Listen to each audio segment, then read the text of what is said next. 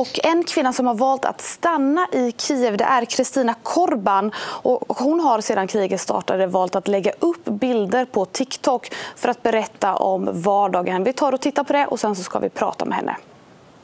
To be honest, guys, last night was pretty crazy. It was nearly impossible to sleep. There were explosions going off for hours. The whole house was shaking. It felt like earthquakes. I heard missiles flying above me. Um, we were attacked basically in every city. People are trying to flee.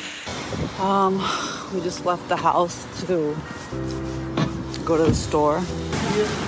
Army over here, stocking up on stuff. People buying food. Let's see what's missing. We do have some, some vegetables, but are you a lion? Yeah, you're gonna protect Ukraine. Say. Hi guys, the past 24 hours have been definitely very overwhelming. There's just a lot of decisions that have to be made on very many levels. Day 16 or 17, who even knows anymore, guys? We lose track of the days. All the days are blurring into one. Good morning, Kristina, and welcome to Aftonbladet. Good morning. How are you? How are you? I'm okay. Very tired, definitely. Um, another stressful evening.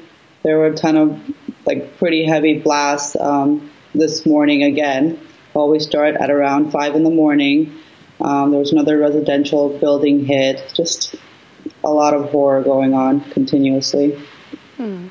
Kristina, a lot of people has left Kiev. Why did you decide to stay?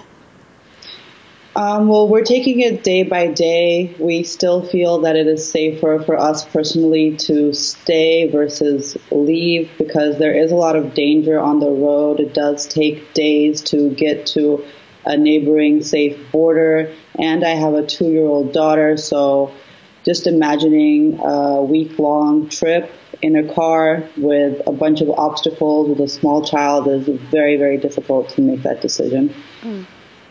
Kristina, what do you tell your daughter about the situation?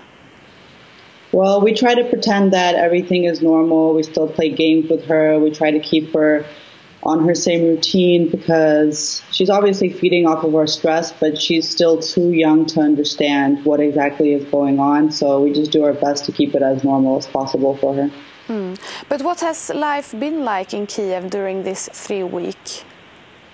Um, it's been scary. The streets are pretty empty. There's obviously tons of blockades. It's very hard to get around town. There's obviously military everywhere. Um, you see, you know, tanks and heavy machinery. You know, it's not something I'm definitely used to seeing. So it's definitely shocking. But other than that, everyone's just kind of hiding, laying low, trying their best to stay safe. Hmm. Are you afraid? Of course, yeah, every day. Hmm. And what do you think will happen? What do I think will happen? Um, I wish I knew. Um, hopefully, things will start to die down soon. Hopefully, this won't turn into a multiple year type of situation, I'm truly praying and hoping that our leaders of the world can come to some kind of resolutions and we can stop this murder happening because it's mm. horrible. So we've seen your TikTok videos and you, you look very strong and you, you say in a video that Ukrainians are built different. In what way? Well, I think I think we have shown the world that we are very resilient. We are very proud of our country, of our land, and we're not willing to back down, uh, even if that means risking our life.